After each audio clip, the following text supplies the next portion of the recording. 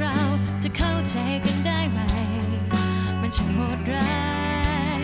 กับความรักที่ไม่สดใสที่เราเคยรวมทุกข์แล้วเราเรียกสิ่งนั้นความสุขฉันและเธอยังเคยมีใจ จะรักจริงใจทุกอย่าง จะเข้าใจกัน